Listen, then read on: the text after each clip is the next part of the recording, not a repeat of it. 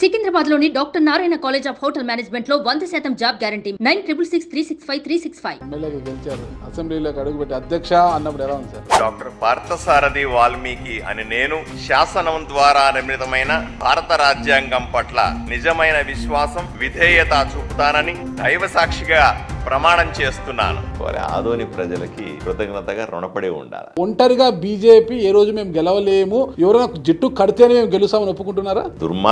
దుర్మార్గమైనటువంటి జగన్మోహన్ రెడ్డి గారి పాలన అంతమొందించాలంటే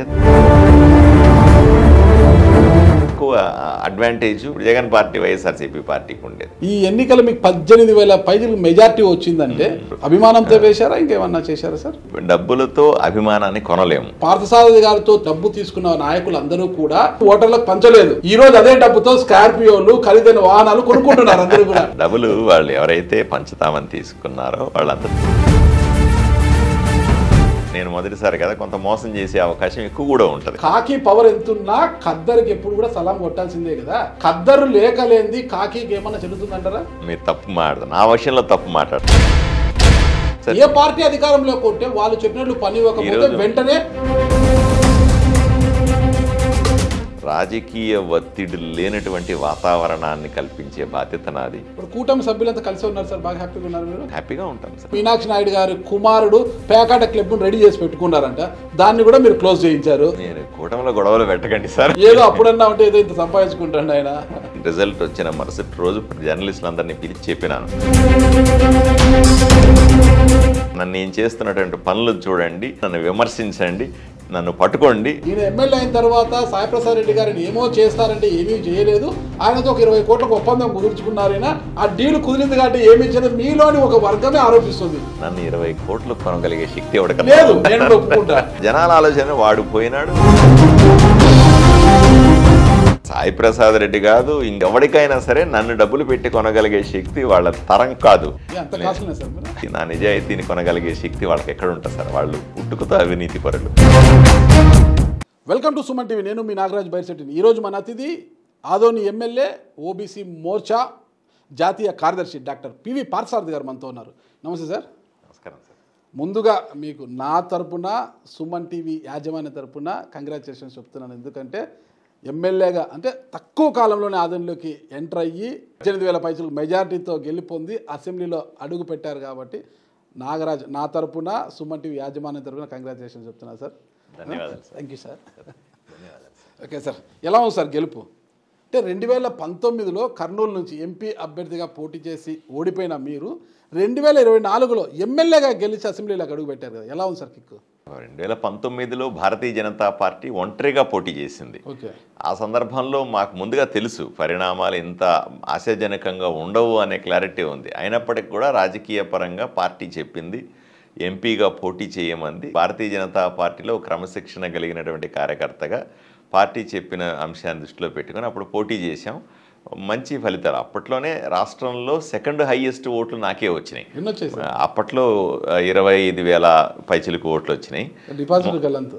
పురంధేశ్వరి గారికి హైయెస్ట్ ఓట్లు ఇరవై ఏడు వేల చిల్లర వస్తే నాకు ఇరవై ఐదు వేలు నెక్స్ట్ హైయెస్ట్ నాకు వచ్చినాయి. అంటే అప్పట్లో కూడా మనం కొంత ప్రభావాన్ని చూపించినాం ఇక్కడ. కానీ అప్పుడు గెలవడం సాధ్యం కాదని నాకు తెలుసు అందరికీ తెలుసు. తర్వాత ఇప్పుడున్న పరిస్థితిలో కూటమి సందర్భంలో తప్పనిసరిగా గెలుస్తానన్న నమ్మకంతో ఎంపీ టికెట్ అడిగాను. అవకాశం లేకపోయింది. రాయలసీమలో ఒకే ఒక సీట్ ఇవ్వడం అది కూడా మాజీ ముఖ్యమంత్రి కిరణ్ కుమార్ రెడ్డి గారు మాకు అందరికీ కూడా పెద్ద నాయకుడే ఉండడం ఆయనకి వెళ్ళింది. నాకు నన్ను కానీ సత్యకుమార్ గారు కానీ మమ్మల్ని అందరినీ కూడా రాయలసీమలో ఎమ్మెల్యేలుగా అకామిడేట్ చేశారు. సో ఇచ్చిన స్థానానికి పోటీ చేయాలి కదా పార్టీ ఏం చెబితే అది ఫాలో అయ్యే వ్యక్తిని కాబట్టి ఆదోనికి వెళ్ళి పోటీ చేయడం జరిగిందండి.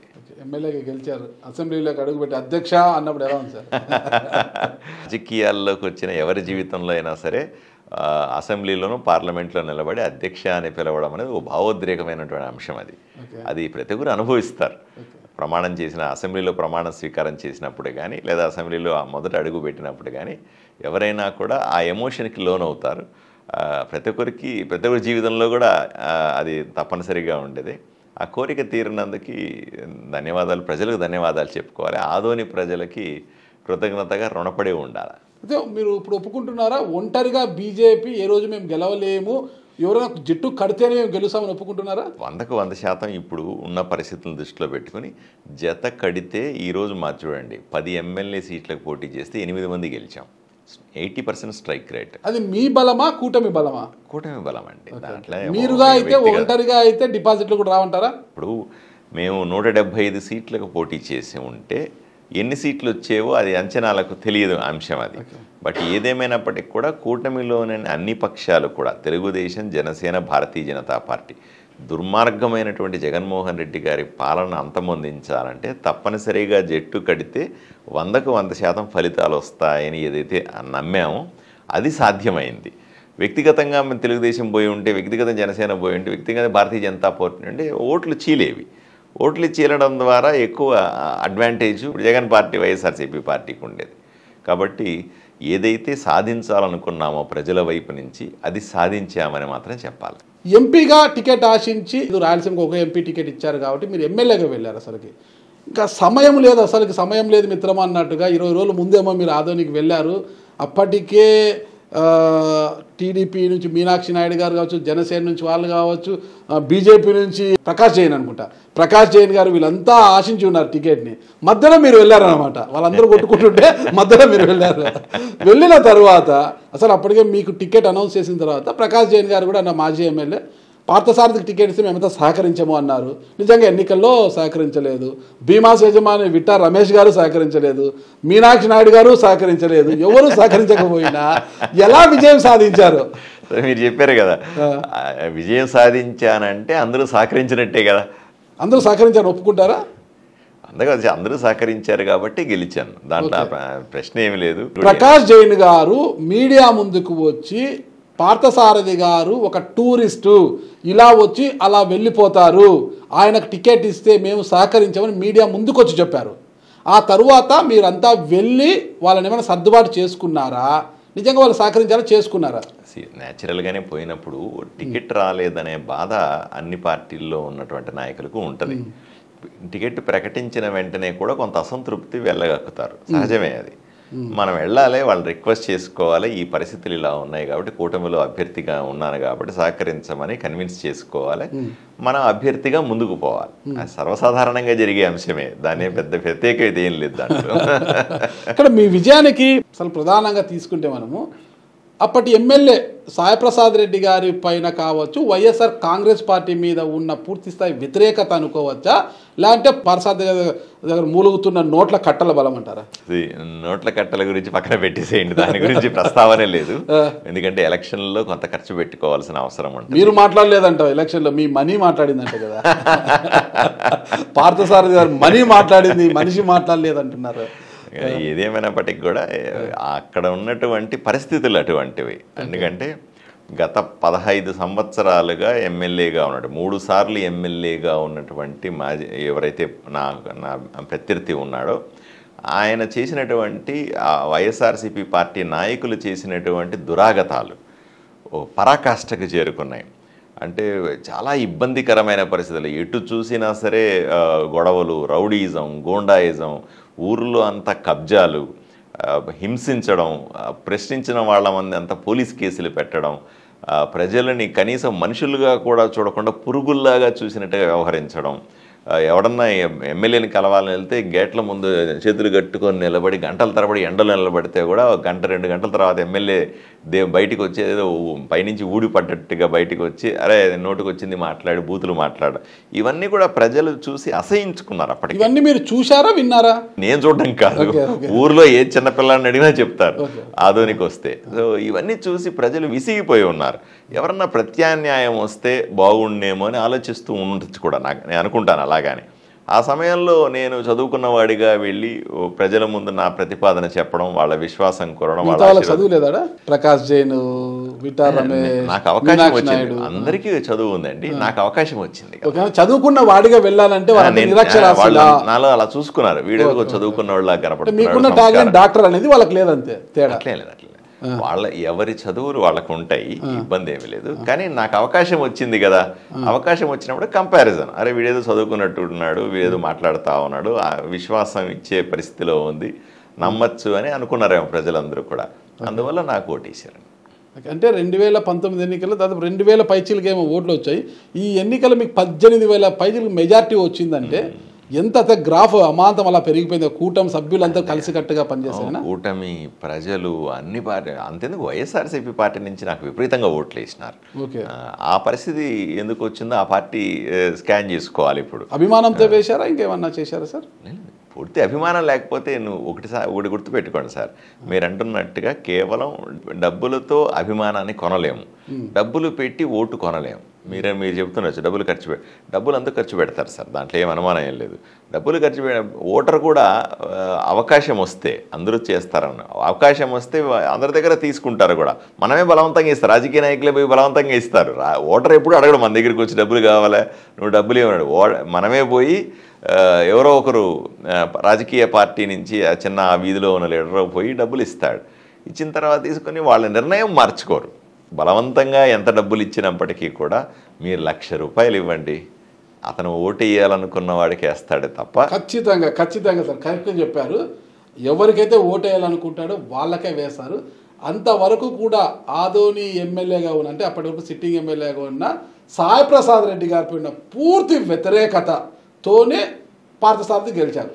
ఓకే అంతే కదా సార్? నాకు మీరు ఏమనుకున్నా ఇబ్బంది ఏమి లేదు. ఎట్లా గెలిచినా డబ్బు అంటే పార్థసారథి గారితో డబ్బు తీసుకున్న నాయకులు అందరూ కూడా ఏ ఒక్కరూ ఖర్చు పెట్టలేదు. ఏ ఒక్కరూ ఖర్చు పెట్టలేదు ఓటర్లకు పంచలేదు. ఈ రోజు అదే డబ్బుతో స్కార్పియోలు ఖరీదైన వాహనాలు కొనుక్కుంటున్నారు అందరూ కూడా. హ్యాపీగా డబ్బు మిగిలింది. ఓటర్కి డబ్బులు పంచలే. అయినా ఓటర్ ఒకటే నిర్ణయించుకున్నారు. సాయి ప్రసాద్ని ఎమ్మెల్యే కుర్చీ నుంచి దింపాలి అని నిర్ణయించుకున్నారు కాబట్టి వాళ్ళు మీకు ఓట్లు వేశారు కానీ మీతో డబ్బు తీసుకున్న వారంతా కూడా అంటే ఓటర్లకు పంపిణీ చేయడానికి తీసుకున్న వారంతా ఈ రోజు మంచి మంచి ఖరీదైన వాహనాలు ముఖ్యంగా స్కార్పియోలు ఎక్కువ తిరుగుతున్నాయంటే ఇప్పుడు అదొక కొత్త స్కార్పియోలు అదంతా కూడా పార్థసారథి గారి అవును డబ్బులు వాళ్ళు ఎవరైతే పంచుతామని తీసుకున్నారో వాళ్ళంతా తినేసినారు మధ్యలో. సహజమే అది. రాజకీయాలు జరుగుతుంది. నేను మొదటిసారి కదా కొంత మోసం చేసే అవకాశం ఎక్కువ కూడా ఉంటుంది. మామూలుగా రెగ్యులర్ అక్కడే ఉండి రాజకీయం చేసే వ్యక్తి కంటే కొత్తగా వెళ్ళి ఉంటాం కదా సులభంగా మోసం చేయగలుగుతారు. అలా నేను మోసపోయినాను. వందకు వంద శాతం దాంట్లో జగమెరిగిన సత్యం. ఇప్పుడు మీడియాలో మాట్లాడుకుంటున్నారు మీరందరూ మాట్లాడుతున్నారు ఎవరినందరూ ఊర్లో అందరూ మాట్లాడుకుంటున్నారంటే నా డబ్బులు ఎత్తుకెళ్ళి తినేశారనే నిజాన్నే కదా మాట్లాడతారు. ఏమీ లేకుండా మాట్లాడరు కదా. కానీ ఇక్కడే అనమాట డబ్బు వారు పంచకపోయినా ఓటర్ మాత్రం సాయిప్రసాద్ రెడ్డి గారిని ఓడించాలనుకున్నారు. అదే మీ గెలుపుకి కారణమైంది. ఓటర్ తెలివైన వాడు సార్. మీరు ఓటర్ నిర్ణయాన్ని తెలివైన వాడా సార్? వందకు వెయ్యి శాతం సార్. మనం అనుకుంటాం రాజకీయాల్లో మనకి చాలా తెలివితేటలు ఉన్నాయండి. అవి భలేవాళ్ళు సార్ మీరు. చిన్న ఊర్లోకి వెళ్ళి ఒక చిన్న గ్రామంలో వాళ్ళని టచ్ చేస్తే రాజకీయం మనకంటే బాగా చెప్తారు. Okay okay. దా మీ అంతేందుకు గల్లీల్లోకి వెళ్ళి మన రాజకీయాలు మాట్లాడితే వాళ్ళు అడిగేటువంటి లీగల్ పాయింట్లు మనకు కూడా తెలియదు అంత బాగా మాట్లాడతారు. సో వాళ్ళ నిర్ణయం చాలా స్పష్టంగా ఉంటుంది. మీరు గమనిస్తే నేను ఇప్పుడు నా బాక్సులు ఓపెన్ చేసిన తర్వాత కౌంటింగ్ సందర్భంలో పంతొమ్మిది రౌండ్లు అయినాయి మాకు. పంతొమ్మిది రౌండ్లో ఏ ఒక్క రౌండ్లో కూడా నేను నాకు తక్కువ మెజారిటీలో కేవలం మూడే మూడు రౌండ్స్లో నేను తగ్గాను. మిగతా పదహారు రౌండ్స్లో కూడా నాకు మెజారిటీ అలా పెరుగుతూనే వచ్చింది. సో ప్రజ దాన్ని బట్టి ఏమర్థం అవుద్దంటే ప్రజలు స్పష్టంగా ఉన్నారు. క్లియర్గా అందరూ మాట్లాడుకున్నట్టుగా ఉన్నారు. ఎవరు ఎవరికి ఏం మాట్లాడరు? సంబంధమే ఉండదు కదా. ఈ ఊర్లో ఉన్నాడుగా ఆ ఊరితో ఏమి సంబంధమే ఉండదు. అయినప్పటికీ కూడా ఓ- ఆ టౌన్లో కానీ గ్రామాల్లో అందరూ ఫోన్లు చేసి మాట్లాడుకున్నారా అన్నట్టుగా ఓట్లు ఇస్తారు అది వాళ్ళ గొప్పతనం. అది పరిస్థితి ప్రభావం కూడా అలాగే ఉంటుంది. అసలు ఎలా సాధ్యం? ఇరవై రోజుల ముందు వెళ్ళారు. అసలు మీ కాడ ఇంటి బాడుగా ఇవ్వడానికి కూడా ఇంటి అయితే మీకు బాడుగకు ఇల్లు ఇవ్వడానికి కూడా ఇబ్బందులు పడ్డారు. ప్రొద్దున చూసిన తర్వాత సాయంత్రం వచ్చి జాయిన్ అవుతారంటే సాయంత్రం లేదు సార్ ఆల్రెడీ వేరే వాళ్ళకి ఇచ్చేసాము అనే పరిస్థితి నో వేకెన్సీ అని బోర్డు కూడా పెట్టేశారంట. సాయిప్రసాద్ రెడ్డి గారు బెదిరించారు ఇంకోటి అసలుకి. ఎలా చేశారు? మళ్ళీ లాస్ట్కి మీ పాత డెంటల్లో పనిచేసే డాక్టర్ దగ్గరే రూట్ కెనాల్ చేసే డాక్టర్ దగ్గర ఆశ్రయం పొందారంటారు. ఎట్లా నెట్టుకొచ్చారు ఈ పరిస్థితిని మీరు అసలు? తప్పదు సార్ వేరే మార్గం లేదు. ఇప్పుడు నేను క్యాండిడేట్గా వెళ్ళిన తర్వాత నేను ఊర్లోకి ఎంటర్ అయిన వెంటనే నాకు మొదట పోలీస్ కేసు పెట్టారు. ఊర్లోకి ఎంటర్ అయినా అంతే అప్పుడే. ఊరికే ఊర్లోకి వచ్చాను. బైక్ తీసుకొని పది మంది బైకుల్లో ప్రజలకు కనపడుతూ ఇట్లా రౌండ్ వేసి అంబేద్కర్ సర్కిల్లోకి వచ్చి అంబేద్కర్ విగ్రహం ముందు మాట్లాడినాను. దానికి మొదటి పోలీస్ కేసు పెట్టారు నాకు. ఎందుకు పోలీస్ కేసు పెట్టారంటే సమాధానం చెప్పేవాడు లేడు. ఆ పోలీసులంతా ఇప్పటికి అక్కడే ఉన్నారు. అక్కడే డ్యూటీలు చేస్తా. ఏముంటుంది. నేను ఎప్పుడు కక్షాపూరిత రాజకీయాలు నమ్మను. ఎప్పుడు కూడా కాకిని చిన్న చూపే చూస్తుంది. కాకి పవర్ ఎంతున్నా ఖద్దరికి ఎప్పుడు కూడా సలాం కొట్టాల్సిందే కదా. ఖద్దరు లేకలేంది కాకికి ఏమన్నా చెల్లుతుందంటారా? మీరు తప్పు మాట్లాడదు నా విషయంలో తప్పు మాట్లాడతాను. సార్ ఒక ఎస్ఐ ఒక సిఐ ఒక డిఎస్పి వీళ్ళకి ఒక ఎమ్మెల్యే సిఫార్సు లేక లేకోకుండా పోస్టింగ్ తెచ్చుకోగలరా చెప్పండి? సార్ నేను మిగతా నియోజకవర్గాల సంగతి మిగతా రాజకీయ నాయకులకు సంబంధించి నేను చెప్పను. కానీ నేను ఈరోజు నాకు ఖద్దరైనా సరే ఈ రోజే వస్తూ వస్తున్నప్పుడు నేను రెవెన్యూ డిపార్ట్మెంట్కి సంబంధించిన విఆర్ఓలు డిప్యూటీ తహసీల్దార్లు తహసీల్దార్లకు సంబంధించిన ఒక నూట యాభై మందితో సమావేశం ఏర్పాటు చేశాను. నిన్న సచివాలయాలకు సంబంధించిన ఉద్యోగస్తులతో ఒక ఐదు వందల మందితో కూర్చొని మాట్లాడతాను వీళ్ళందరికీ చాలా స్పష్టంగా చెప్పినాను. రాజకీయ ఒత్తిడి లేనటువంటి వాతావరణాన్ని కల్పించే బాధ్యత నాది. మీరు స్వేచ్ఛగా ప్రజలకు సేవ చేయండి అని. ఎట్టి పరిస్థితుల్లో కూడా రాజకీయ ఒత్తిడి లేకుండా చేస్తానని చెప్పిన అది కూడా మీరు చేస్తే ఖచ్చితంగా మార్పు స్టార్ట్ అవుతుంది సార్. ఏ ప్రభుత్వ ఉద్యోగి కాకిలే కాదు సార్ పోలీసులే కాదు ఏ ప్రభుత్వ ఉద్యోగినైనా వాళ్ళ విధులను వాళ్ళు ఫ్రీగా చేసుకోమని చెబితే మాత్రం ఖచ్చితంగా చేస్తారు. ఏ పార్టీ అధికారంలో కొట్టే వాళ్ళు చెప్పినట్లు పని ఇవ్వకపోతే ఈరోజు- వెంటనే వాళ్ళకు బదిలీ. ఒక ఒక ఎస్ఐ ఒకరిని తీసుకెళ్ళి పట్టుకున్నారు అనుకోండి ఏదో ఒక కేసులో. వెంటనే MLA phone MLA PA phone. మావాడే పంపించని పంపించలేదనుకో మరుసటి రోజు ఆయనకు మళ్ళీ అక్కడ నుంచి విఆర్కి ఖచ్చితంగా విఆర్కి వెళ్ళిపోవాల్సిందే అతను. లేదు అంటే ఆ ఎమ్మెల్యే గారు చెప్పారని లేదంటే ఎమ్మెల్యే పిఏ చెప్పాడని ఎమ్మెల్యే బామర్ది చెప్పాడని విడిచేయాల్సిందే. విడిస్తే అక్కడ ఉంటాడు లేదంటే విఆర్కి పోతాడు. ఆ ఎస్ఐ కానీ సిఏ కానీ ఎవరైనా కానీ అదే పరిస్థితి. ఆ పరిస్థితికి భిన్నంగా మీరు పాలన చేస్తారు చెప్పండి. నేను చేస్తున్నాను అని చెప్తున్నాను సార్ సార్. నెల రోజులు నెల నోర్లు పాలన పాలన అనరా. అది కూడా చెప్పాలి కదా. ఇప్పుడు ఒకటే చెప్తున్నాను సార్ ఇప్పుడు నాకు పదిహేను రోజుల తర్వాత మా అమ్మ ఫోన్ చేసింది. నేను రోజు అమ్మతో మాట్లాడతాను. అమ్మ క్యాజువల్గా ఫోన్ చేసి ఏరా ఏం చేస్తున్నావు? అంటే "అన్న, నువ్వు ఎమ్మెల్యే అయినావు కదా ఆదోనికి ఈ పదహైదు రోజుల్లో ఏం చేసినావు అప్ప అంది అంటే మా అమ్మకి చెప్పినాను అమ్మ నేను ఏం చేసినానో ఏమో తెలియదు కానీ ఆదోనికి నేను స్వేచ్ఛనిచ్చినాను అని చెప్పినాను. ఆదోనిలో అప్పటిదాకా కూడా ఒక ఎమ్మెల్యే అప్పుడు ఎమ్మెల్యేగా ఉన్నటువంటి వ్యక్తిని దృష్టిలో పెట్టుకొని అందరూ నడుచుకోవాలి. ఆయన చెప్పి కూర్చుంటే కూర్చోమనా లేమంటే లేవాలా సంతకం పెట్టమంటే ఆఫీసర్ సంతకం పెట్టాలా పలానా పట్టుకొచ్చి కొట్టమంటే పోలీసులు పట్టుకొచ్చి కొట్టాలా పలానా మీద కేసు పెట్టమంటే కేసు పెట్టాలా ఎక్కడన్నా చిన్న సమావేశం జరిగితే ఫోటోలు తీసుకొని భయపెట్టాలా ఊర్లో ఎవరన్నా పొ- మంచి పొలాలు ఉంటే లేదా స్థలాలు ఉంటే దాన్ని కబ్జా చేసిన ఇప్పుడు అడగకూడదు. ఈ రకమైన వాతావరణం ఉండేది. నేను వచ్చిన తర్వాత మీరు ఈరోజు ఇదే కెమెరాలు తీసుకెళ్ళి అడగండి సార్. ఆదోనిలో నేను నేను రాను. రేపంతా మీరు ఆదోనిలో తిరగండి. ఖచ్చితంగా వస్తాను సార్ నేను. మార్పును వినండి. చూడడానికైనా వస్తా. ఇరవై రోజుల్లో ఆదోనిలో ఒకటంటే ఒక్క కబ్జా లేదు. ఆదోనిలో ఒక్క బెదిరింపు లేదు. గూండాలు లేరు. ఎక్కడ పోయినా లేదు. నాటుసారా ఉండకూడదని చెప్పినా నాటుసారా బాగా తగ్గింది. జీరోకి వచ్చిందని నేను చెప్పను. బాగా తగ్గింది. మట్కా ఆడకూడదని చెప్పినాను. వంద శాతం మట్కా లేదు ఈరోజు. పేక ఆడితే ఒప్పుకొని ఊర్లో అన్నాను. బాగా తగ్గిపోయింది. ఎక్కడ దొంగగా ఆడుతా ఉన్నారేమో కానీ అంతెందుకు ఆ ఊర్లో ఎక్కడైనా సరే రౌడీలు కనపడితే వదిలిపెట్టేది లేదన్నాను. ఒక్క రౌడీ కనపడతలేడు. ఎక్కడ పోయినారు? పారిపోయి ఉన్నారు. ఈ రకమైనటువంటి వాతావరణం. ప్రజలు ఈరోజు స్వేచ్ఛగా మా స్థలాలను మేము ఆ, కాపాడుకోగలమనే ధైర్యంతో ఉన్నారు. ఈ రకమైన స్వేచ్ఛనిచ్చినాను పదహైదు రోజుల్లోనే మా అమ్మకు ధైర్యంగా చెప్పినాను. మీతో కూడా గర్వంగా చెప్తా ఖచ్చితంగా సార్ నేను హ్యాట్సాప్ చేస్తున్నాను దీనికి. ఎందుకంటే ఇది ఈ పరిస్థితి ఇలాగే కొనసాగితే మాత్రం ఆదోనిలో మార్పు వచ్చినట్లే సార్. ఎందుకంటే ఈరోజు మీరు ఎమ్మెల్యే అయ్యారు పార్టీ అధికారంలోకి వచ్చిన వెంటనే ప్యాకాట్ ఆడించండి. ఇప్పటికే మీనాక్షి నాయుడు గారి కుమారుడు ప్యాకాట క్లబ్ను రెడీ చేసి పెట్టుకున్నారంట. దాన్ని కూడా మీరు క్లోజ్ చేయించారు. ఓకే సంతోషం. అది ఎంతకాలం క్లోజ్ చేయించగలరు అవతల మీనాక్షి నాయుడు? ప్రజలు నాకు ఐదు సంవత్సరాల ఎమ్మెల్యే ఉద్యోగాన్ని ఇచ్చినారు. ఓకే. ఐదు సంవత్సరం ఎవడన్నా సరే ఎమ్మెల్యే అయ్యి ఖర్చు పెట్టుకొని వచ్చిన తర్వాత ఆవురు ఆవురు అని ఉంటాడు. సాధారణంగా నేను ఎన్నికలు అయిపోయి రిజల్ట్ వచ్చిన మరుసటి రోజు ప్రెస్ మీట్ చెప్పి మీలాంటి జర్నలిస్టులందరినీ పిలిచి చెప్పినాను. వందకు వంద శాతం ఐదు సంవత్సరాల పాటు అవినీతి జోలికి పోకుండా ఒక్క రూపాయి లంచం తీసుకోకుండా ఉంటానని చెప్పినాను. అలాగే ఎటువంటి తప్పుడు పని చేయకుండా ఐదు సంవత్సరాలు గడుపుతానని చెప్పినాను. ధైర్యంగా ఈరోజు మీ కెమెరాల ముందు కూడా చెప్తా ఉన్నాను. మళ్ళీ సంవత్సరం తర్వాత రెండేళ్ళ తర్వాత ఐదు సంవత్సరాలని ఎమ్మెల్యేగా పూర్తి చేసుకున్న తర్వాత వచ్చిన తర్వాతనే మీరు ఇంటర్వ్యూ రండి ఆదోనికి వచ్చి చూడండి. నేను ఆ రోజు కూడా నిఖార్సైన నాయకుడిగా ఆధారాల కోసం అన్వేషిస్తా. ఆధారాలు దొరికితే మాత్రం వస్తా. దయచేసి మిమ్మల్ని అందరినీ మిగతా మీతో పాటుగా రాష్ట్ర వ్యాప్తంగా ఉన్న జర్నలిస్టులందరినీ గురించి రిక్వెస్ట్ చేస్తా ఉన్నా. అందరూ వచ్చి ఇన్వెస్టిగేట్ చేయండి నా జీవితాన్ని చూడండి నా నన్ను నేను చేస్తున్నటువంటి పనులు చూడండి తరచి తరచి చూడండి నన్ను విమర్శించండి నన్ను పట్టుకోండి నేను కెమెరాల ముందు ధైర్యంగా నిలబడతానన్న నమ్మకం నాకుంది. ఎందుకంటే సార్? మీకు డబ్బు అంటే ఏమైనా చేదా సార్? డబ్బు? డబ్బు అంటే చేదని కాదు సార్. దేవుడు ని- నాకు ఏదో రూపాయి ఇచ్చినాడు. నేను హాస్పిటల్ కష్టపడి సార్? ఎలక్షన్స్లో మీరు డబ్ మీ నుంచి వెళ్ళిన డబ్బు ఓటర్లకు చేరలేదు. కానీ నాయకులు మింగేశారు బాగా. ఓకేనా? ఆ డబ్బు వెళ్ళిపోయింది మీ దగ్గర నుంచి. మీ డబ్బు ఓటర్లకు పోలేదు మధ్యలో ఉన్నవారు బాగుపడ్డారు. కానీ ఆ డబ్బు సంపాదించుకోవాలి అన్న ఒక ఉబలాటమో ఆశనో లేదా? ఎలక్షన్లో నేను నా కోసం నా కుటుంబానికి సంబంధించిన డబ్బులు తీసుకొని ఖర్చు పెట్టాను. సార్ మీరు కావాలంటే చూడండి నా హాస్పిటల్ నడిపిన డబ్బులను తీసుకొని కష్టపడి బాగా కష్టపడాను ముప్పై శాతం ట్యాక్స్ కట్టిన డబ్బుల్నే ఖర్చు పెట్టాను అక్కడ. నా దగ్గర బ్లాక్ మనీ ఏమీ లేదు సార్. కష్టపడి. సంపాదించిన డబ్బులే ఉంది. దాన్నే ఖర్చు పెట్టాను. నా కోసం ఎమ్మెల్యే అవ్వడానికి ఖర్చు పెట్టుకున్నాను. దీన్ని వ్యాప రాజకీయాన్ని వ్యాపారం చేయాలన్న ఆలోచన ఈసారి ఇంత ఖర్చు పెట్టాను. దాన్ని పది రెట్లు సంపాదించి నెక్స్ట్ ఎలక్షన్లో మళ్ళీ ఖర్చు పెట్టాలనేటువంటి మోనోపోలిక్ రాజకీయాలు నేను నాకు చేయాలని ఆలోచన ఎప్పటికీ లేదు.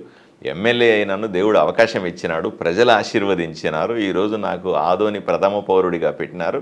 వందకు వంద శాతం వాళ్ళ రుణం తీర్చుకోవడానికి ఐదు సంవత్సరాలు పనిచేసి తర్వాత ఆశీర్వదిస్తే మళ్ళీ ఎమ్మెల్యే అవుతాను లేకపోతే నాకు ఎటువంటి ఇబ్బంది లేదు. నేను చేయాలనుకున్నది ఐదు సంవత్సరాలు బ్రహ్మాండంగా చేసేస్తాను. Okay sir. ఎన్నికల ముందు వెళ్ళిన మీకు నిలువ నీడ లేకోకుండా చేశారు కదా ఉండడానికి కూడా ఇల్లు లేకోకుండా. ఈరోజు పరిస్థితి ఏంటి? సొంత ఇంటిని నిర్మిస్తున్నారా? లేదు సార్. అప్పుడే సరే ఈ డబ్బులన్నీ అయిపోయినాయి? ఇంక అప్పుడే సొంత ఇల్లు డబ్బులు ఎలా సార్? నాకు తెలుసు నూట ఇరవై ఎనిమిది పార్థ డెంటల్ అధినేత మీరు అసలు. మీతో డబ్బులు అయిపోయినాయండి సార్. అయినా కూడా నేను డెంటిస్ట్ని ఏదో కుటుంబం సంపాదించింది. ఖర్చు పెట్టారు సార్ ఎలక్షన్కి? డబ్బులు అయిపోయేంత ఖర్చు పెట్టారా? మోస్తారులో ఖర్చు పెట్టారా? సార్ మీ సర్వజ్ఞులు మీకు తెలియంది లేదు. ఎలక్షన్లో తప్పనిసరిగా ఖర్చు పెట్టుకొని ఖాళీ చేసుకున్నాను జోబుల్ని. వెంటనే ఇల్లు నిర్మించే పరిస్థితి కూడా లేదు. బాడుగ ఇల్లు తీసుకున్నాను రిపేర్లు చేసుకుంటా ఉన్నాను. తొందరలోనే గృహప్రవేశం చేసి ప్రజలంతో పాటుగా నేను కూడా ఆ, ఆదోని వాసిగా ప్రయాణం చేస్తాను. ఐదేళ్ళ పాటు పదేళ్ళ పాటు రాజకీయాలు చేసి ఆస్తులు కూడబెట్టుకొని వాళ్ళని చూశాం సార్ ఈరోజు మనం. చాలా మందిని చూశాము నాయకుల్ని. సార్ ఎన్నికలకు ముందే డబ్బు పోగొట్టుకొని ఎమ్మెల్యే పేద ఎమ్మెల్యేగా మీరు మిమ్మల్ని మాత్రం. డబ్బులు అయిపోయినాయి ఇల్లు ఎప్పుడు కట్టుకోవాలనేది. మళ్ళీ ఇల్లు కట్టాలంటే ఒక రెండు మూడు కోట్లు కావాలి కదా సార్ మీ స్థాయిలో కట్టాలంటే. మరి ఎలా చేస్తారు సార్ అది. మళ్ళీ- వచ్చే జీతంతో కష్టం లేదు కుటుంబం హాస్పిటల్ మళ్ళీ సంపాదిస్తుంది కొంచెం సంవత్సరం. గడిచే లోపల. కుటుంబం ఆ వ్యాపారం అట్లాగే ఉంది కాబట్టి దాంట్లో పుంజుకుంటాను. ఇల్లంతా ఇంట్లో వాళ్ళందరూ కష్టపడతారు కదా సార్. నేను ఇక్కడ ప్రజల్లో తిరుగుతా ఉంటే మీ ఇంట్లో వాళ్ళందరూ కష్టపడి మళ్ళీ ఒక రూపాయి సంపాదిస్తారు. సంపాదించినప్పుడు నీ ఈరోజు నా పరిస్థితి నిజంగా మన ఎలక్ ఎలక్షన్ల ముందు కూడా వెళ్ళి ఇంటి- ఇంటికి వెళ్ళి అమ్మ నాకు కొంచెం డబ్బులు ఇస్తే ఎలక్షన్లో ఖర్చు పెట్టుకుంటానంటే ఇచ్చినారు. మళ్ళీ వాళ్ళకి చెప్పినాను ఈ డబ్బులు మళ్ళీ సంపాదించి పెట్టను మీరు అట్లయితేనే ఇవ్వండి అన్నాను. నువ్వు సంపాదించిన డబ్బులు నువ్వు ఖర్చు పెట్టుకో మాకేం ఇబ్బంది లేదన్నారు. ఖర్చు పెట్టేశాను. వాళ్ళకి చెప్పినాను ఈ డబ్బులు రావని. మళ్ళీ పో వాళ్ళకి ప్రతి నెల వాళ్ళు నాకు సార్ అనుకుంటాం కానీ ఎమ్మెల్యేకి వచ్చేటువంటి లక్షా పదహైదు వేల రూపాయలతో నేను ఎలా బతుకుతాను చెప్పండి? సాధ్యమా? కదా. మీ- మీ కార్యకర్తల బండికి మీ బండికి డీజిల్ సరిపోదు. కాబట్టి తప్పనిసరిగా ఈ రోజు నడపాలన్నా ఈ ఐదేళ్ళు నడపాలంటే నా కుటుంబమే నాకు దిక్కు. వాళ్ళు సంపాదించి ఇవ్వాలని నేను ఖర్చు పెట్టాలి? అదే పరిస్థితి. ఇంత స్మైలింగ్ ఫేస్ ఇంత ఓపిక్గా ఇంత ఉండే మీకు కూడా అప్పుడు కోపం వస్తుంటుందా? ఎందుకు రా? సార్? కానీ కోపం ఎవరి మీద చూపిస్తాం? సాయి ప్రసాద్ రెడ్డి గారు మీరు చూపించేట్టున్నారు అంతు చూస్తాననే స్థాయికి వెళ్ళారు కదా. అట్లా కాదు సార్. ఇప్పుడు అతను ఏంటంటే నోటికి వచ్చింది మాట్లాడినాడు. అతను వ్యక్తిగతంగా మాట్లాడిన. ఇప్పుడు నేను ఏదో ఐదు పెళ్ళిళ్ళు చేసుకున్నానని లేదో విపరీతమైనటువంటి తాగుతాననో లేదా ఇట్లా విచిత్ర విచిత్రమైనటువంటి అంటే సంబంధం లేని ఎవడైనా సరే రాజకీయం కాబట్టి నన్ను ఎదుర్కోవాలి. మీ వ్యక్తిగత జీవితం అట్లా కాదు. అతను ఏదైనా అంటే నా రాజకీయంగా ఎదుర్కోవాలి. అట్లా కాకుండా వ్యక్తిగత దూషణలకే ఫోకస్ పెట్టినాడు అతను. నేను చెప్పినాను అయ్యా నేను ఇంత ఓపిక్గా ఉన్నాను నేను రాజకీయంగా ఎదుర్కో ఇది మంచి పద్ధతి కాదు ఇటువంటి దుష్ప్రచారాల వల్ల కుటుంబం కుటుంబం కూడా ఇబ్బంది పడుతుంది. వాళ్ళు కూడా ఫీల్ అవుతారు.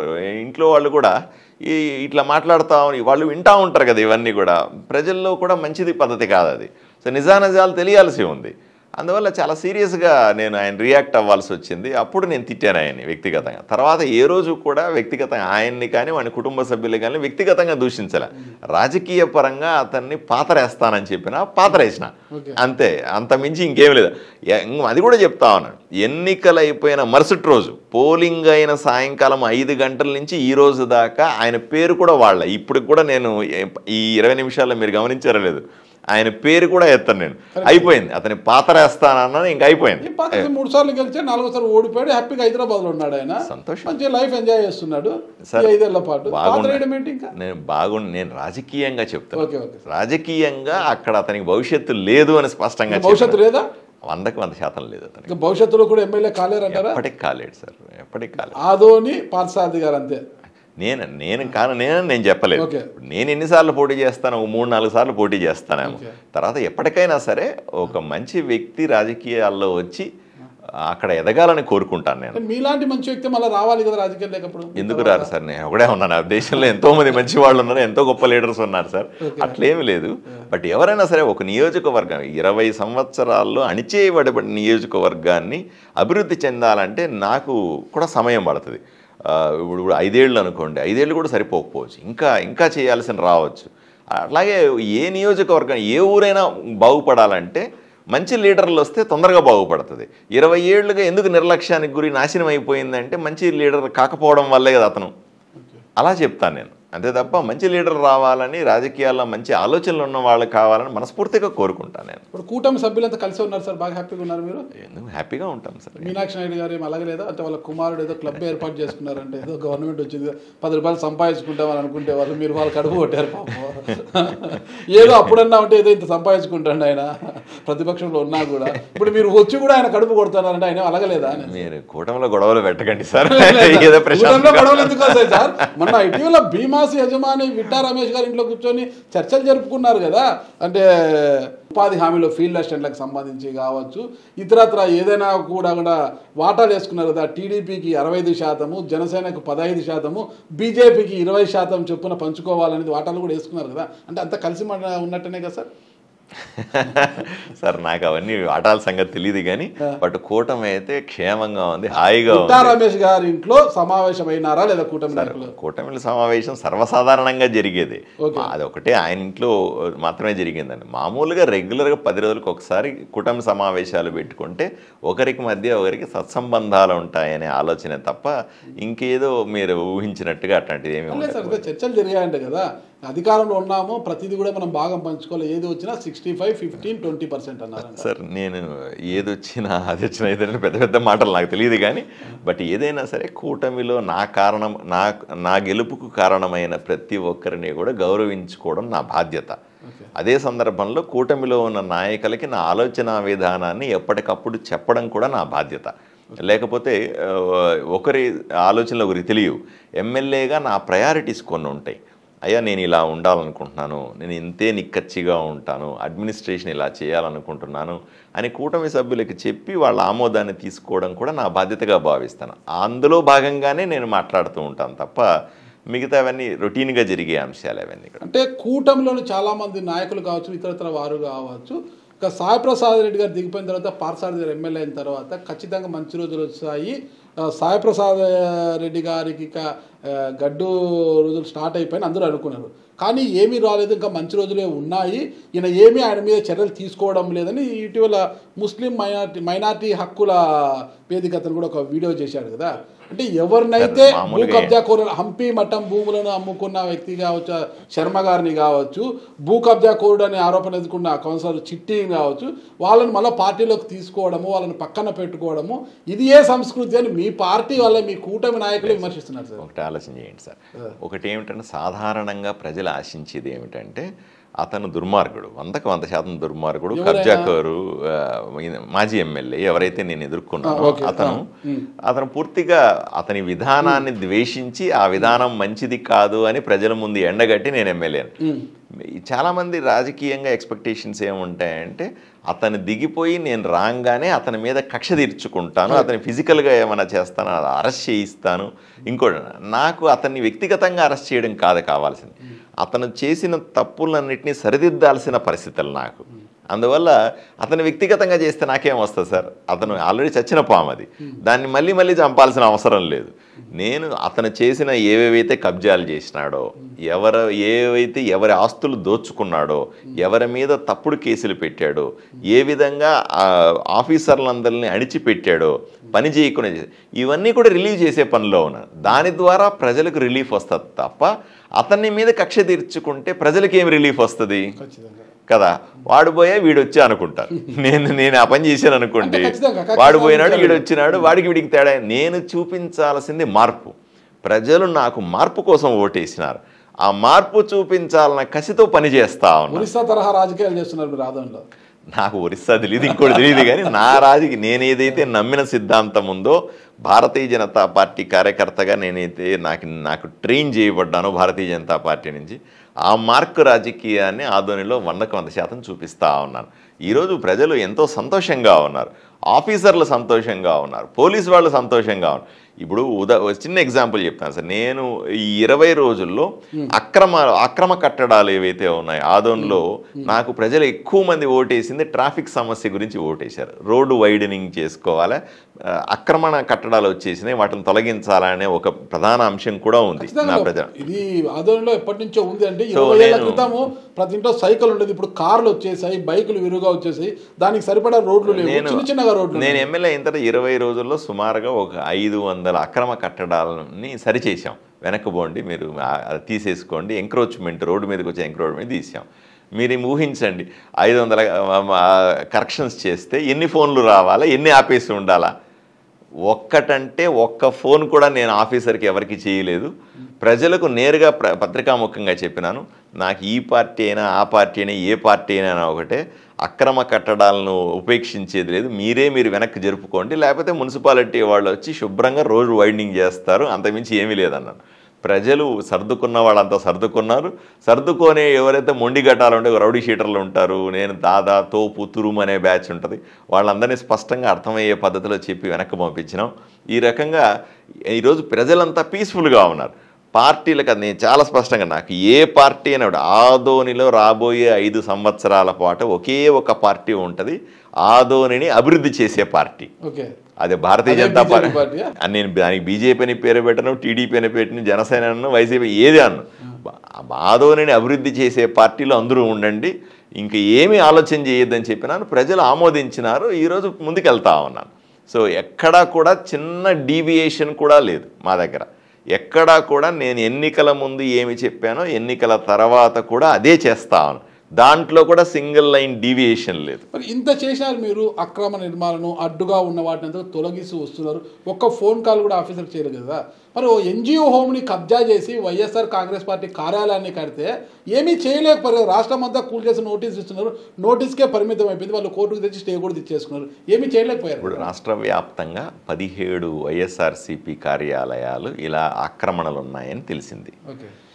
మేము వాళ్ళకి నోటీసులు ఇచ్చాము. పదిహేడు కూల్ చేస్తామని. వాళ్ళు రాత్రి రాత్రికి పదిహేడు మీద కోర్టుకి వెళ్ళారు వాళ్ళు. వాళ్ళ పార్టీ వైపు నుంచి ఈ పదిహేడు కార్యాలయం మీద కోర్టుకి వెళ్ళారు. కోర్టు వాళ్ళకు యథాతథ స్థితి కొనసాగించండి. దాన్ని తీర్పు రిజర్వ్ చేసింది. మా తీర్పు కోసం వేచి చూస్తాను. తీర్పు వస్తుంది. అదేం ఇంజెక్షన్ లాంటి ఇంజెక్షన్ ఆర్డర్ లాంటిది. తీర్పు వచ్చిన వెంటనే చర్యలు ఉంటాయి. దాంట్లో వాటిని ఎటువంటి ఉపేక్ష ఉండదు. ఆ, కానీ ఏంటంటే ఒక్కోసారి మనము ఓవర్గా రియాక్ట్ అయ్యామనుకోండి సార్. మీరు చూశారు శ్రీ కొలకపూడి శ్రీనివాసరావు గారు ఓవర్గా రియాక్ట్ అయ్యి జేసీబీ తీసుకెళ్ళి ఆఫీస్ని కొట్టాలని ప్రయత్నం చేసినాడు. అది కూడా మంచిది కాదు. మనము చదువుకున్న వాళ్ళం చట్టాన్ని గౌరవించాల్సిన అవసరం ఉంది జడ్జిమెంట్ని గౌరవించాల్సిన అవసరం ఉంది. ఎన్ని రోజులు కాపాడుతారు తప్పు చేసిన వాడిని చట్టం ఎప్పటికీ కాపాడుతూ పోదు. ఈరోజు కాకపోతే ఒక నెల తర్వాత మరి రెండు నెలల తర్వాత తీర్పు వస్తుంది. వచ్చిన వెంటనే చట్టపరంగా చర్యలు తీసుకొని ప్రజలకు అప్పుడు చూ- అన్నీ ఒకే రోజు చేయాలి అన్ని ఇరవై రోజుల్లో చేయడం సాధ్యం కూడా కాదు. కరెక్ట్. మీరు మా చట్టపరంగా చేయాలి న్యాయపరంగా పోవాలి చచ్చిన పాముని ఇంకా చంపకూడదు అని మీరు ఒక విధానపరంగా ముందుకు పోతున్నారనమాట అంటే అభివృద్ధి ఏ విధంగా చేయాలి అభివృద్ధి పైన దృష్టి సారిస్తూ ఇవన్నీ పక్కన పెట్టారు కానీ ఒక వర్గం మాత్రం ఏమనిపిస్తుంది ఈయన ఎమ్మెల్యే అయిన తర్వాత సాయిప్రసాద్ రెడ్డి గారిని ఏమో చేస్తారంటే ఏమీ చేయలేదు. ఆయనతో ఒక ఇరవై కోట్లకు ఒప్పందం కుదుర్చుకున్నారైనా ఆ డీల్ కుదిరింది కాబట్టి ఏమీ చేయలేదు మీలోని ఒక వర్గమే ఆరోపిస్తుంది. ఇది నా మాట కాదు. సార్ నాగరాజు గారు ఒకటే సూటిగా దాని మీద వీడియో కూడా వచ్చింది ఒకటి ఆలోచన చేయండి సార్. నన్ను ఇరవై కోట్లు కొనగలిగే శక్తి లేదు? నేను నేను కూడా ఒప్పుకుంటా నేను కూడా ఒప్పుకుంటా. అంత శక్తివంతుడు ఎవరు లేరు అది కాని పని నన్ను కొనగలిగే శక్తి ఎవరికి లేదు ఒకటి. ఇరవై కోట్లతో ఇంకా వాహనాలు కొనుక్కున్నారు. మీకు ఇరవై కోట్లు ఇవ్వలేరు కానీ అదొక వీడియో బయటకు వచ్చింది అందుకు అడుగుతున్నా. సహజంగానే ప్రజ కొంతమంది అక్కడ ఉన్నటువంటి వర్గం ఆలోచన ఏంటంటే ఏదో రకం వీడు మరీ ఇంత డెడికేటెడ్గా పోతున్నాడు ఇంత సిన్సియర్గా పోతా ఉన్నాడు. ఇంత? ఏంది ఇబ్బందులు అసలు ఉన్నాయి కదా. వా- ఆ జనాల ఆలోచన వాడు పోయినాడు వాడు కబ్జా చేసుకుంటే మనం కబ్జాలు చేసుకోవచ్చు. వాడు చేసిన దుర్మార్గాలు మనం చేసుకోవచ్చు. వాడు సంపాదించినంత వైసీపీ ఎమ్మెల్యే సంపాదించినంత వెంటనే మనం కూడా సంపాదించుకొని కోరికలు ఎవరికైనా ఉండుండొచ్చు. నేను తప్పను కోరికలు సో అవన్నీ పటాపంచలయ్యి మనం చూపిస్తున్నటువంటి నిజాయితీ రాజకీయాన్ని ఆ, ఇబ్బంది కూడా ఉంటుంది వాళ్ళకి. డిస్కంఫర్ట్ ఉంటుంది సఫకేషన్ ఉంటుంది. అటువంటి సందర్భంలో ఎవరో ఒకరు అట్లాంటి వీడియోలు చేసే అవకాశం కూడా ఉంది. సాయి ప్రసాద్ రెడ్డి కాదు ఇంకోరు కాదు ఎవరికైనా సరే నన్ను డబ్బులు పెట్టి కొనగలిగే శక్తి వాళ్ళ తరం కాదు నన్ను చేయాలంటే. చాలా కాస్ట్లీ నా నిజాయితీ కాదు ఓకే ఓకే. నిజాయితీ కాస్ట్లీ నా నిజాయితీ కాదు నేను డబ్బులు అంటే అన్ని డబ్బులతో కొలవలేం కదా సార్. నన్ను కొనగలిగే శక్తి నా నిజాయితీని కొనగలిగే శక్తి వాళ్ళకి ఎక్కడ ఉంటుంది సార్? వాళ్ళు పుట్టుకతో అవినీతి పరులు. వాళ్ళ రాజకీయ చరిత్ర అంతా అవినీతిమయం. నన్ను నా- క్యారెక్టర్ని చూడలేరు కదా అలాగా. Okay sir. ఇప్పుడు ఎమ్మెల్యే అయ్యారు సార్. మొట్టమొదటిగా ఏ అభివృద్ధి కార్యక్రమానికి శ్రీకారం చుట్టబోతున్నారు మీరు? సార్ నా ప్రయారిటీస్ నాకు. ప్రజల ఎజెండానే నా ఎజెండా అనుకున్నాను. రోజువారీ ప్రజల సమస్యలు వస్తూనే ఉంటాయి. యావరేజ్గా నన్ను రోజు చూడడానికి ఒక ఐదు వందల మంది వస్తారు. ఐదు వందల మంది పిటిషన్ చూడడానికి వస్తారు సార్ సమస్యలు చెప్పుకోవడానికి అదే వస్తారు. చూడడానికంటే వాళ్ళు ఎందుకు వస్తారు? మహేష్ బాబు లాగా ఉన్నారు సార్ నమస్కారం సార్. నన్ను నన్ను సార్ ర్యాగింగ్ చేస్తా ఉన్నారు. అలా కాదు. నన్ను చూడడానికి వస్తారంటే నన్ను కలవడానికి వచ్చి ఏదో వాళ్ళ కష్టాలు చెప్పుకుంటారు వాళ్ళ ఇబ్బంది ఒక ఐదు వందల మంది వస్తారు. వాళ్ళందరి పిటిషన్లు తీసుకోవాలి. మళ్ళీ కార్యక్రమాలన్నీ చూసుకోవాలి. వాళ్ళల్లో వచ్చేటువంటి మెజారిటీ సమస్యల్ని తీసుకొని నేను ముందుకు వెళ్తూ ఉంటాను. సో చాలా ఎక్కువ మంది మంచినీళ్ళ సమస్య అని చెప్పారు మాకు అందువల్ల ఏంటంటే అక్కడ రామ్ జిల్లా ప్రాజెక్ట్ అని ఉందండి. అది నీళ్ళు ఉన్నప్పటికీ కూడా అది విషపూరితమైన నీళ్ళు అని ప్రజలు నమ్మడం అక్కడంతా ఇబ్బంది ఉంది. సో వాటిలో నుంచి వాటర్ అంతా ఇప్పుడు తీసేసే పని మొదలు పెట్టాం రాగానే. తీసేసి కొత్త నీళ్ళు నింపే పని చేస్తాం వర్షం రాగానే. రెండవది ఏంటి? నేను చేసిన నేను ఎలక్షన్లు తిరిగే టైంలో కూడా వారానికి ఒకసారి నీళ్ళు వచ్చేవి. ఇంప్రాపర్ ప్లానింగ్ వల్ల ప్రాపర్ దాన్ని మేనేజ్ చేయ ఉన్న వాటర్ని మేనేజ్ చేసుకోలేకపోవడం. ఈరోజు మీరు ఆదాయంలో చూడండి నాలుగు రోజులకి మూడు రోజులకు ఒకసారి నీళ్ళు వస్తా నేను పెద్ద ఏం చేసింది? అడ్మినిస్ట్రేట్ చేశాను. కూర్చొని ఓపిక్గా ఇంజనీర్లందరినీ పెట్టుకొని ప్రాపర్గా డిస్ట్రిబ్యూషన్ పెట్టండి నేను ఫోకస్ పెడతాను అని రెండు రోజులకు రెండు రోజులకు ఒకసారి వాళ్ళతో మాట్లాడినాను అంతే. నాకున్న ఆలోచనలు చెప్పినా చేసిందంతా వాళ్ళేను. ఈరోజు మూడు రోజులకు నాలుగు రోజులు నీళ్ళు వస్తా ఉన్నాయి. భవిష్యత్తులో ప్రతిరోజు నీళ్ళు వచ్చే అవకాశం వందకు? వంద శాతం ఆదోనిలో నెక్స్ట్ సమ్మర్ కూడా నేను మళ్ళీ చెప్తాను నెక్స్ట్ పీక్ సమ్మర్లో కూడా వినండి బాగా వినండి నెక్స్ట్ పీక్. సమ్మర్లో కూడా తప్పనిసరిగా రెండు రోజులకు ఒకసారి నీళ్ళు ఇచ్చే కార్యక్రమం చేస్తాం. భవిష్యత్తులో రోజు రోజువారీగా నీళ్ళు నీళ్ళు వచ్చే? నీళ్ళు బట్టి అవకాశాన్ని బట్టి. అంటే తాగునీటిని ఆదోనికి తీసుకురాలేరా నెక్స్ట్ సమ్మర్కు సాధ్యమా కాదని నేను చెప్పలేను కానీ ఐదేళ్ళలో మాత్రం రోజు ఇంటికి నీళ్ళు ఇచ్చి ఫుల్ టైం నీళ్ళు ఇచ్చే పని మాత్రం చేయగలుగుతాను. అది అంటే ఓన్లీ ఏం లేదు ప్రాపర్ ప్లానింగ్తోనే సాధ్యం అవుతుంది ఉన్న రిసోర్సెస్ కొన్నే ఉంటాయి తక్కువ నీళ్ళు తక్కువగానే ఉంటాయి. దాన్ని వాడుకునే విధానం కానీ దాన్ని ప్రిజర్వ్ చేసుకునే విధానం కానీ దాన్ని డిస్ట్రిబ్యూట్ చేసే విధానం ద్వారానే ఇవి చేసుకోవడం సాధ్యం. ఒకసారి ఆదోని అంటేనే అందరికి కూడా సెకండ్ ముంబై సెకండ్ బాంబే అంటుంటారు కదా అంటే వైట్ కాటన్ అయితే ఈ కాటన్ మిల్స్కి స్పిన్నింగ్ మిల్స్కి పెట్టింది పేరు ఆదోని. ఇంకా అయితే ఇది అది కనుమరుగపోయింది. స్పిన్నింగ్ మిల్స్ అన్నీ కూడా ఈ ఈ మామూలు ఇచ్చుకోలేక ఈ దౌర్జన్యాలు ఈ రౌడీ జాలకు భయపడి ఆ స్పిన్నింగ్ మిల్స్ అన్ని మూసేసి ఎక్కడికక్కడ వెళ్ళిపోయారు కదా. దానికి పూర్వవైభవం తీసుకురావాలంటే పార్సార్థి గారు ఏం చేస్తారు సార్ మొట్టమొదటి అంశం సార్ ప్రజలందరూ కూడా ఆదోనిలో గత పది సంవత్సరాలుగా నివసించి ఇరవై సంవత్సరాలుగా నివసించిన ప్రజలందరూ కూడా ఏమనుకుంటున్నారు? ఆదోని సేఫ్ ప్లేస్ కాదు మనకి. ఇక్కడ ఈ గూండాయిజం రౌడీజం కబ్జాలతో మనకు మన ఆస్తులకి భద్రత లేదు అనే భావ ఊర్లో సంపాదించుకున్న వాళ్ళు కూడా పక్క ఊర్లోనో పక్క రాష్ట్రంలో పోయి ఆస్తులు కొన్నారు స్థలాలు కొనుక్కున్నారు ఇల్లు కట్టుకున్నారు. ఆ ఊర్లో ఎవరు లేరు. రెండవది మంచి ఆఫీసర్లు. నేను ఎంతోమంది మంచి ఆఫీసర్లను కలుస్తాను మంచి ఆఫీసర్లు ఆదోనికి వచ్చి పని చేయమంటే చేయరు. ఎందుకంటే అమ్మ అక్కడ ఉన్నటువంటి ఎమ్మెల్యేలు అక్కడికి ఉన్నటువంటి రాజకీయ వాతావరణం మనకు సూటబుల్ కాదు అని భావిస్తాను. మంచి ఆఫీసర్లు అక్కడికి రాలేదు పది సంవత్సరాలు.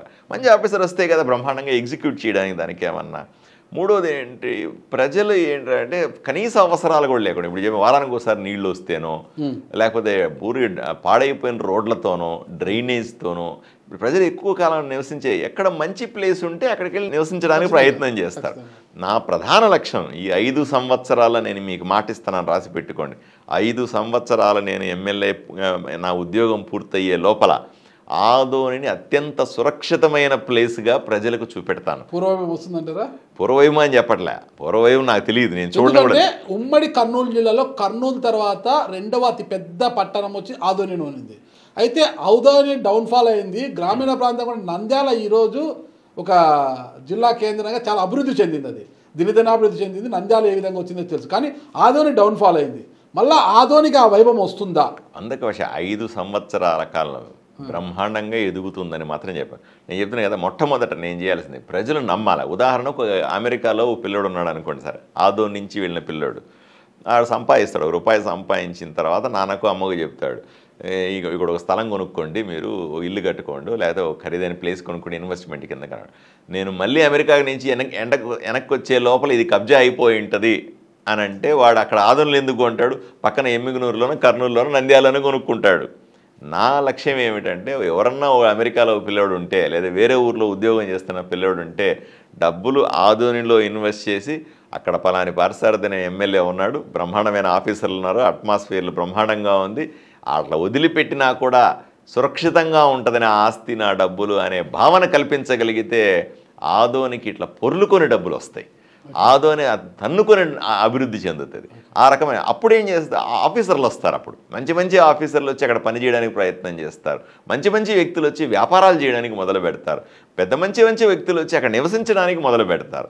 ఈ రకమైన వాతావరణం కల్పించడంలో నేను సక్సెస్ అయితే చాలు. అభివృద్ధి దానంతకదే జరిగిపోద్ది అనుకుంటా. ఆదోనిలో పార్థా డెంటల్ కార్పొరేట్ హాస్పిటల్ కూడా సార్? మీరు కూడా ఒక వ్యాపారవేత్తే కదా సార్? సార్ నేను ఆ ఎమ్మెల్యే అయిన తర్వాత భారత డెంటల్ చైర్మన్గా రాజీనామా చేశాను. అట్లా ఉండడానికి వీలు లేదు. ఉండదులేండి. ఆ, కాబట్టి నేను. ప్రస్తుతానికి ఫుల్ టైం ఎమ్మెల్యే ఉద్యోగమే చేస్తున్నాను. వేరేం. డెంటల్ యాజమాన్యంతో మాట్లాడి అక్కడికి ఏమైనా తెప్పిస్తారా? మీరు కాదు రాజీనామా చేశారు. ఆ యాజమాన్యంతో మాట్లాడమని తెప్పిస్తారా అదే ఒక కార్పొరేట్ తరహాలు ఎవరు పెట్టడానికి? చూస్తారా? అంటే మీకు తెలిసిన పార్థా డెంటల్ను తీసుకురాలేరు వేరే కంపెనీలు తీసుకొస్తారా? ఆల్రెడీ భారత డెంటల్ ఉంది?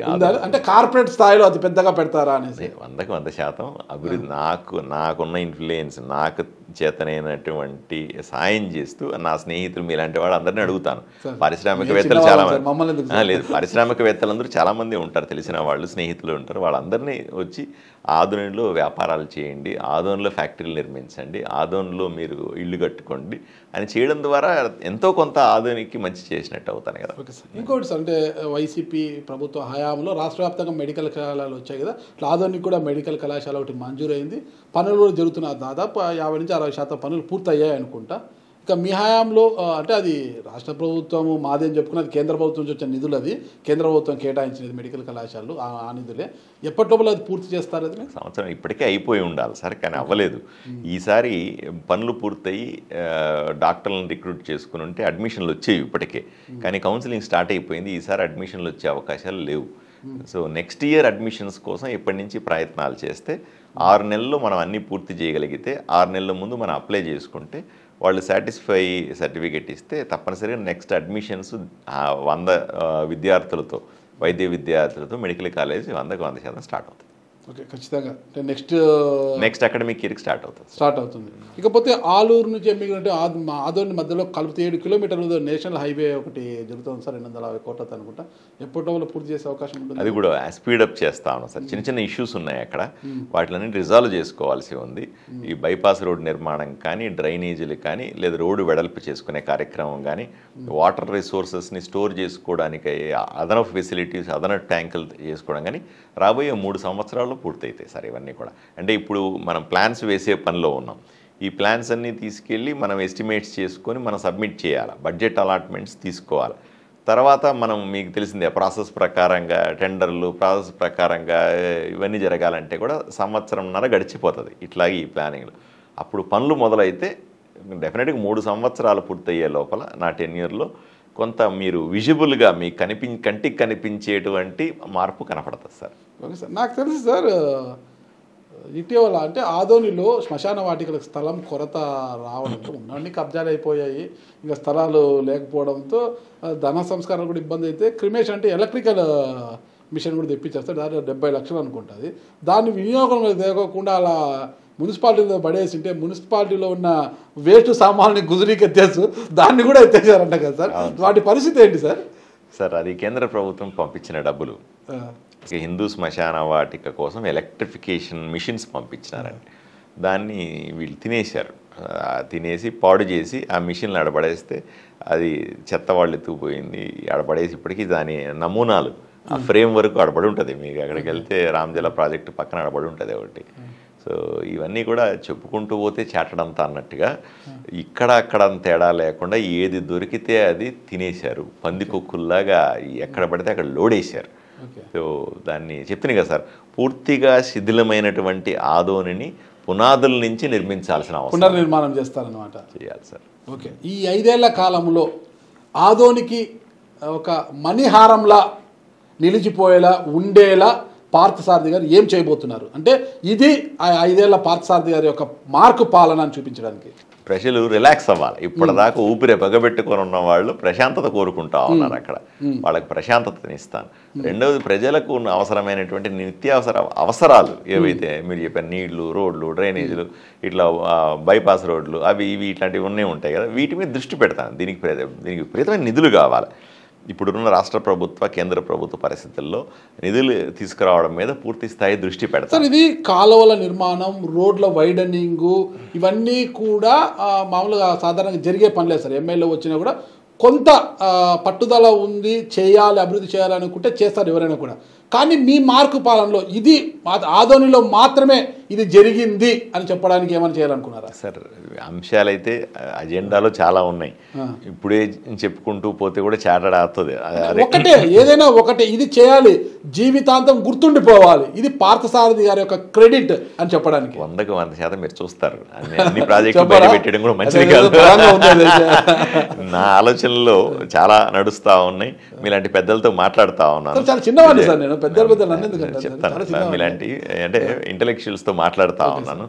సో ఏది బెస్ట్ అన్నది అందరి ముందు ప్రతిపాదన చేస్తాను తెస్తే హండ్రెడ్ పర్సెంట్ చేస్తాను. ఓకే ఒక సురక్షితమైన ఆదోనిని ప్రజలకి ఇవ్వబోతున్నారు మీరు. బహుమతిగా ఇస్తాను. బహుమతిగా ఇప్పటికే- ఇరవై రోజులు నేను వాళ్ళకి ఇచ్చిన బహుమతి అది. మనశ్శాంతితో ప్రజలు జీవిస్తా ఉన్నారు. ఒకసారి వెరిఫై చేసుకోండి. ఈ మనశ్శాంతిని కంటిన్యూ చేస్తూ ఉంటే ప్రజలందరూ ఆకర్షితులు అవుతారు అక్కడికి రావడానికి. ఇబ్బందిగా అయితే ఫీల్ కావద్దండి. అసెంబ్లీలో ప్రమాణ స్వీకారం చేశారు. ఇక్కడ కూడా నా ఎదురు ఒక ప్రమాణం చేయండి. పార్థసారథని నేను ఆదని ఎమ్మెల్యేగా ఉన్నాను. ఈ ఐదేళ్ళ కాలంలో అవినీతికి చోటు లేకోకుండా ప్రజలు మెచ్చిన పాలన చేస్తానని నేను ప్రమాణం చేస్తున్నాను. దైవ సాక్షిగా నాకు ఒక్కసారి ప్రమాణం చేయండి సార్. నేను ప్రమాణమే చేయనక్కర్లేదు సార్. అది నా విధానం అది. ఓకే. ప్రమాణం చేయాలంటే ఇప్పుడు నిన్నటిదాకా నేను ఇవ్వడం తాగేవాడు నిన్నటిదాకా తాగుతూ ఈ రేపటి నుంచి తాగను అనేది ప్రమాణం సార్. ఓకే. నేను అలా నా జీవిత కాలంలో మీరు చూడండి వెరిఫై చేయవచ్చు చూడండి. నా వెనక్కి వెళ్ళి చూడండి. నా జీవిత కాలంలో చూడండి. ఏ రోజు కూడా రాజకీయ నాయకులు అవినీతి చేయరంటే నమ్మే రోజులు కాదు సార్. నన్ను వెరిఫై చేసి నన్ను నన్ను-. వెరిఫై చేసి నన్ను పట్టుకొని ప్రజల ముందు నిలబెట్టాల్సిందిగా మిమ్మల్ని కోరుకుంటా ఉన్నా. ఓకే సార్ ఖచ్చితంగా సార్.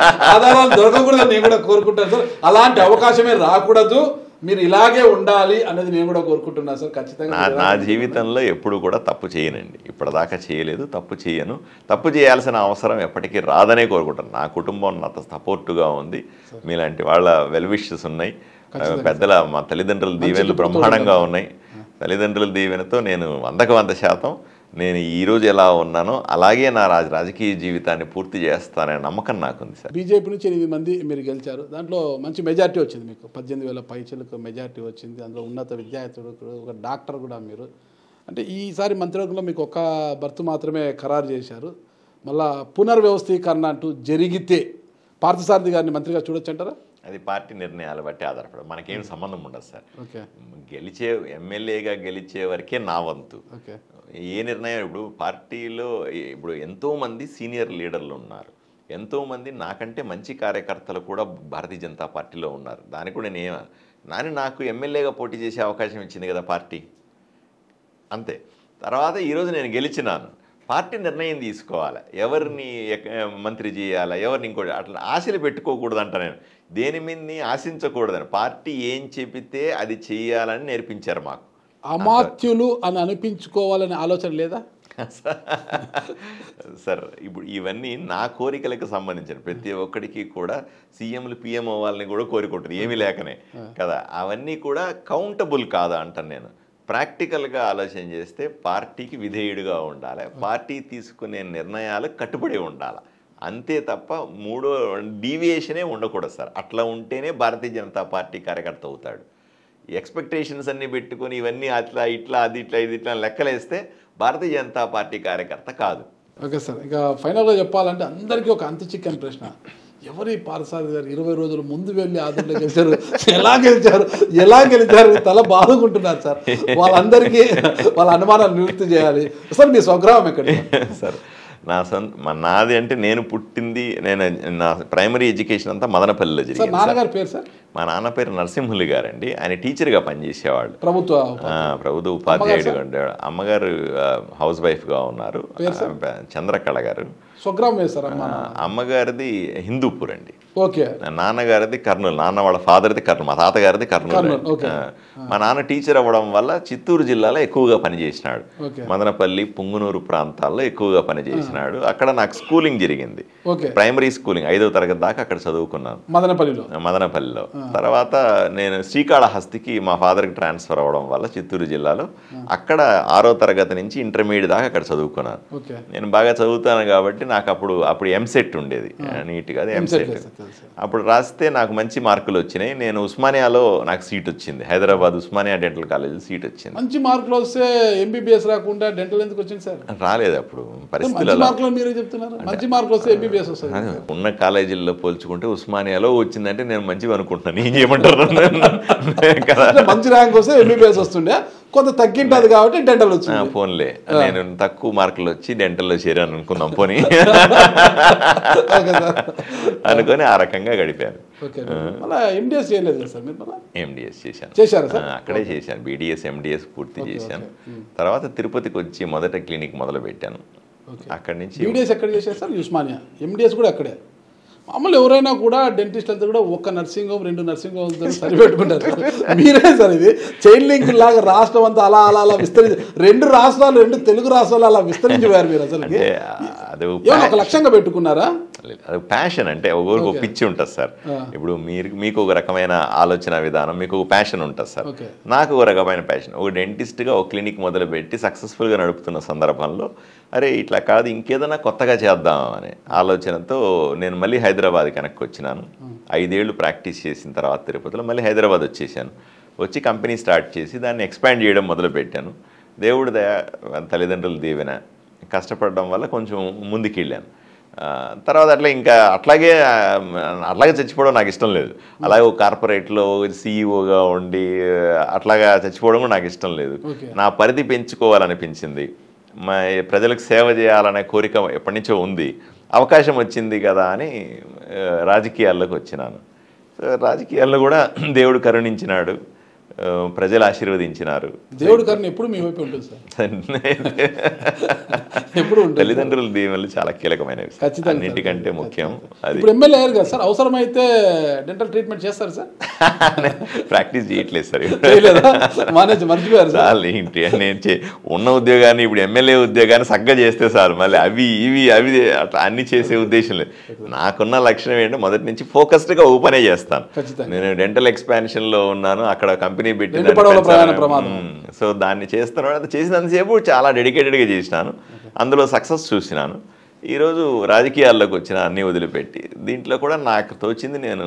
శ్రద్ధగా చూస్తాను. ఒక ప్రభుత్వ ఉపాధ్యాయుడు కుమారుడుగా ఎలాంటి రాజకీయ నేపథ్యం లేకపోయినప్పటికీ కూడా మీ సొంత తెలివితేటలు కావచ్చు మీ కృషితో తల్లిదండ్రుల ఆశీర్వాదము దేవుడి యొక్క ఆశీర్వాదాలతో ఈ స్థాయికి వచ్చారు. డెంటల్ పార్థా డెంటల్ అనే వాళ్ళకి అందరికీ తెలుసు అనమాట ఎవరు ఉభయ తెలుగు రాష్ట్రంలో మీరు తెలియని వాళ్ళు ఎవరు లేరు అందరికీ తెలిసిన వారు మీరు. అంత వచ్చారు మీరు. ఈరోజు ఎమ్మెల్యేగా కూడా వచ్చారు కదా. అంటే మీ రాజకీయ వారసుడుగా మీ నాన్నగారు మీకు రాజకీయ వారసత్వం లేదు. మీ రాజకీయ వారసత్వం ఇవ్వబోతున్నారా? మీ కుమారుడికి కానీ భారతీయ జనతా పార్టీ రాజకీయ వారసత్వాన్ని ఒప్పుకోవచ్చు సార్. ఓకే. ఆ రాజకీయ అంటే భారతీయ జనతా పార్టీ సిద్ధాంతాన్ని నచ్చితేనే దాంట్లోకి వెళ్తాం సార్. లేకపోతే వేరే పార్టీలో ఉంటాం మామూలుగా అయితే. అక్కడ చేరినామంటేనే మీరు ఇంక అండర్స్టూడ్ వారసులు ఉండరు అని అండర్స్టూడ్ మీకు. సో ఆ ఆ అవకాశం లేదు. ఓకే. భవిష్యత్తులో మళ్ళా టికెట్ వస్తే ఎలాంటి ఇప్పుడు ఏదో కొంత ఖర్చు అయింది కదా అలాంటి ఖర్చు పాటు లేకోకుండా ఖచ్చితంగా మళ్ళా పార్థసారథి గారే గెలవాలి అంటే ఏం చేయాలి సార్? ఏమి చేయనక్కర్లేదు సార్. నిజంగా మనం ఏదైతే ఎన్నికల ముందు మాట్లాడినామో ఇప్పుడు ఏదైతే మాట్లాడుకున్నామో ఇదే ఐదేళ్ళు కొనసాగిస్తే చాలు సార్. ప్రజలు ఎప్పటికీ గుండెల్లో పెట్టుకుంటారు. ఏమనమన? నేను ఇరవై ఎనిమిది రోజుల ముందు ఎలక్షన్కి వెళ్ళాను సార్. ఇరవై ఎనిమిది రోజుల ముందులో స్పష్టంగా నా నిజాయితీతో కూడినటువంటి మాటలు ఏదైతే ఆల్టర్నేటివ్ కావాలని ఆల్టర్నేటివ్ నాలో చూశారు వాళ్ళు. చూశారు కాబట్టి ఆశీర్వదించారు బలంగా ఓట్లు వేసినారు ఈ ఆల్టర్నేట్కి మరొక ఆల్టర్నేట్ కాకోకుండా చూసుకోండి సార్. లేదు అట్లా ఇప్పుడు రాజకీయాల్లో ఎవరు రాకూడదు అనుకోవడం తప్పు. ప్రజలు రాజకీయాలు కోరుకోకూడదు అంటున్నా సార్. రాకూడదని నేను అంటుంది ప్రజలు కోరుకోకూడదు అంటున్నా. ప్రజలు కోరుకోరు. నేను పరిస్థితి. ఏదైతే మనం మాట్లాడుతున్నామో ఏదైతే ఈ రోజు మనం ఏ స్టాండ్ మీద అయితే ఉన్నామో ఇది ఐదేళ్ళు కొనసాగిస్తే చాలు. అంతకుమించి ప్రజలు ఏమి ఎక్స్పెక్ట్ చేయరు మన దగ్గర సార్. మీకు ఎంతమంది సంతానం సార్? నాకు ఇద్దరు అబ్బాయిలండి. ఏం చేస్తున్నారు సార్? పెద్దవాడు నాలాగే డెంటిస్ట్ చదువుతా ఉన్నాడు. చిన్నవాడు ఈ ఇయర్ ఎంబీబీఎస్ జాయిన్ అయినాడు. ఓకే. ఆ, చిన్నవాడు మంచి మార్కులు వచ్చినాయి సార్.